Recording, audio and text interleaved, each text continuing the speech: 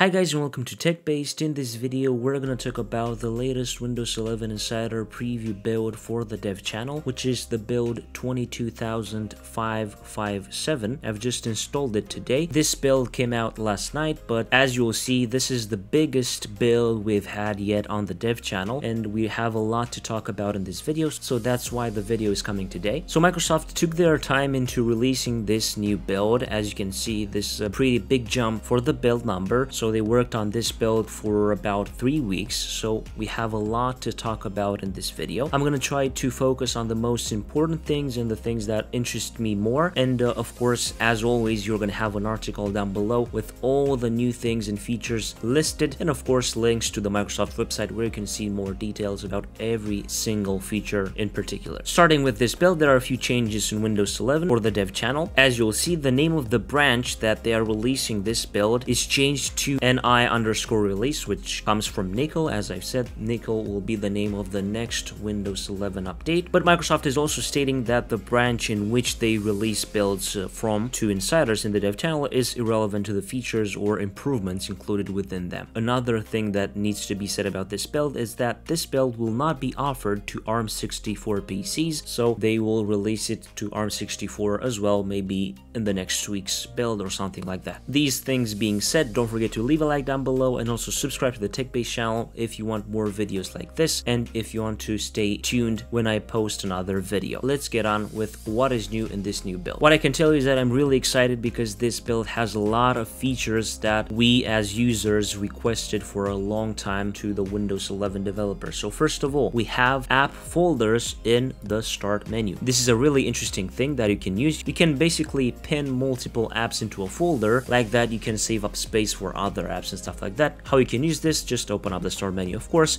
and drag and drop an app on top of another and you will be creating an apps folder here that you can click on and access it and of course you can add multiple apps into another folder. As you can see this looks pretty well of course it needs a little bit of a touch up as you can see some animations are a bit delayed and stuff like that but in my opinion this is really really good and I really like this thing and if you're wondering how you can delete or remove these folders just drag and drop into an empty space each and and every app from that folder and that folder will disappear. Another thing that Microsoft is stating is that they will bring up a lot of improvements to this in the next build. So for example, the ability to name and rename folders in some future builds, so stay tuned for that. But this is a great step. I really love this new feature. Microsoft is also introducing Do Not Disturb and Focus. Do Not Disturb will make it easier to silence notifications, and Focus is a new experience that enables everyone to stay in the moment and minimize the distractions on their PC. Do not disturb can be easily turned on by clicking on here in the notification area and go here and click on this button and you'll see that do not disturb is on. You'll only see banners for priority notifications and alarms. Of course, you can set up and customize the notification settings into details so you can just go into notification settings and you'll be redirected to the notification section of the settings app in Windows 11. And in the same place, you can set up focus. As you can see here, you have the ability to set up a timer. So for example, you want to focus onto learning or studying something for 30 minutes, just set up the 30 minutes timer and then click on this button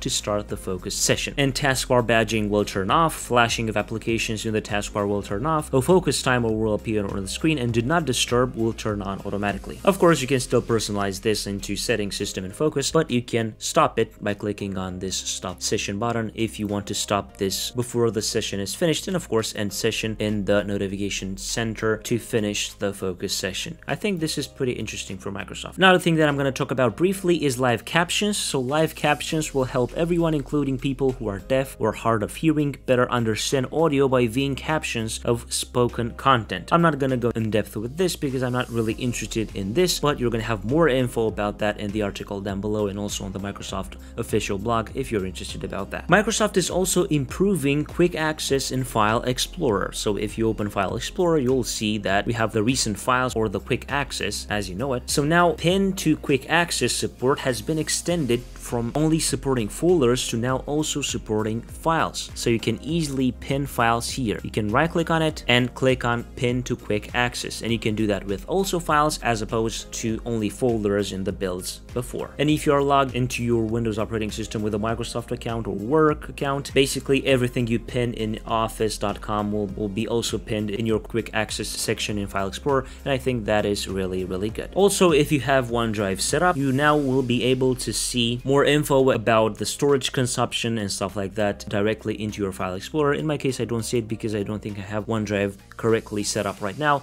but you're to have a screenshot to see how that looks. Another thing that I'm going to jump over briefly are the new touch gestures. So for people that are using touchscreens, we have new touch gestures and you're going to have more info about that in the article down below, more exactly on the Microsoft website and their blog post. You'll see every new touch gesture explained and how you can use it. Another huge thing for me is that Microsoft is also improving snap layouts. So let me show you what I mean. I have a File Explorer window opened up here. I'm just going to drag and drop it to the top and you'll see that the snap snap layouts appear automatically and I can easily snap my window into any portion of the screen if I want and that is really really fast and really really good in my opinion. That's what you call an improvement and Microsoft also added some new animations to the snap layout so as you can see if I'm moving my window on my screen we have some new animations and they look pretty pretty good in my opinion. Really really nice for Microsoft. Microsoft is also adding more sustainable power settings and recommendations. The default values for sleep and and screen off have been updated to reduce energy consumption and carbon emissions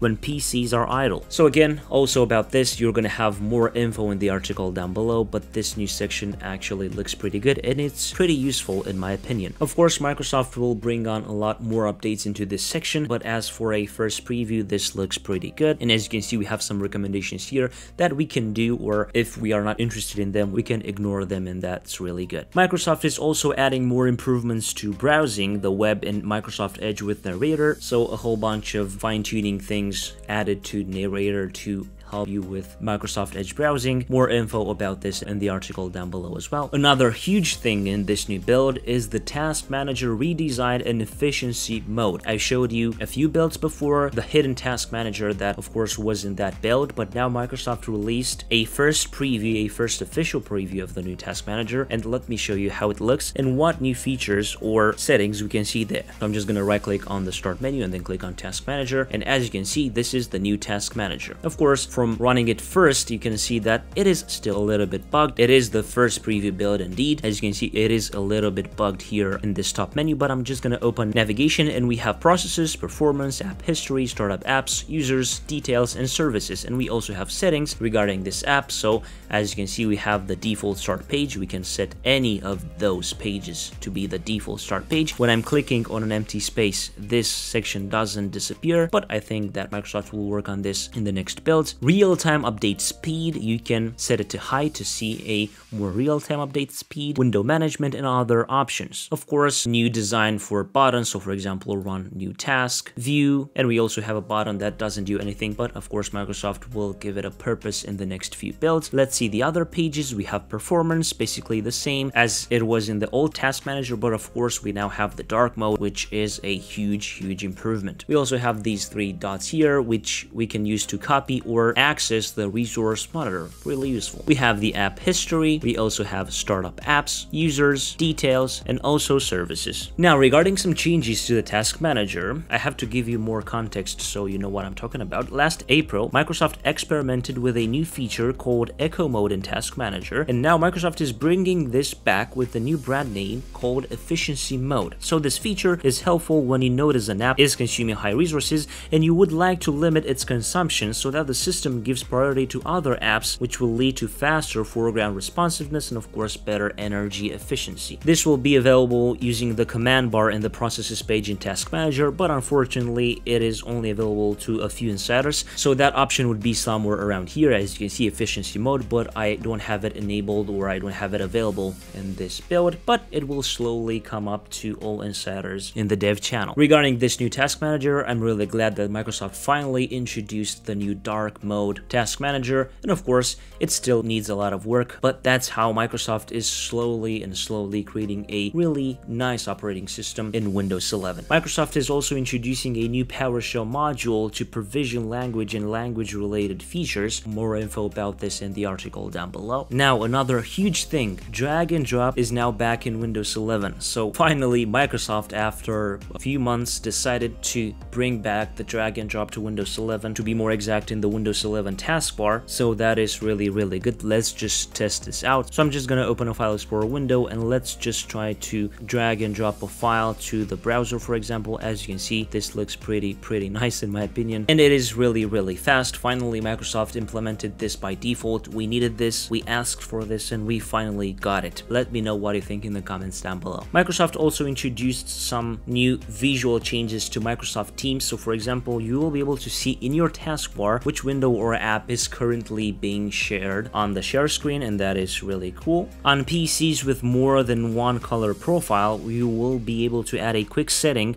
to switch more easily between these modes. On clean install, the color profile button should not be pinned by default, but it might appear on upgrades. They also added a cast icon if you're using the Windows plus K combination on your Windows operating system. You will have a new icon into your task manager if you are casting your screen to another display. Microsoft also updated the battery charging indicator to use a lightning bolt instead of a power cable. That is also pretty nice. Another huge thing in File Explorer is that now File Explorer will show previews of items within folders. So as you can see here, we have these new folder icons which show you some previews of what files or other folders you have into a certain folder in File Explorer. Again, a huge thing and I'm really glad that Microsoft finally reintroduced this because we had it in Windows 10. Also in the File Explorer, if you choose to share a local file to Outlook by using this button, you will be able to compose an email message directly within the share window without having to go into Outlook directly. That is really good, but you will need the Outlook desktop integration installed via the store, and this capability is unavailable for files stored in OneDrive folders as OneDrive has its own share experience. Changes regarding search as well. Searching for apps and settings in the Windows search box on, on the taskbar is now even faster and more accurate than before. Regarding this, they also fixed an issue that prevented Windows users from being able to search for an app in the first few seconds after it had been installed. Changes also to task view and also visual changes for the snap groups and that is really really good in my opinion. Also it is now easier to move your cursor and windows between monitors by letting your cursor jump over areas where it would previously get stuck. So this would be normally controlled into system display, multiple displays, and ease cursor movement between displays. We also have a new male natural voice called Guy for the narrator and also some more commands that you can use with the voice typing feature in Windows 11. Regarding graphics, Microsoft is also expanding the dynamic refresh rate DRR experiences on laptops with 120Hz displays. This will be noticeable when using Office and scrolling and also the low latency inking. More info about this in the article down below. Changes also to HDR and more optimizations for windowed games if you are playing windowed games. To enable this feature, you'd normally have to go into settings and then system, then go to display and then to graphics, and then change default graphics settings. And you'll have here also the hardware accelerated GPU scheduling and also optimizations for windowed games, which is automatically turned on. Basically, it will reduce latency and use advanced features in compatible games by using flip presentation model. You'll need to restart your game for changes to take effect.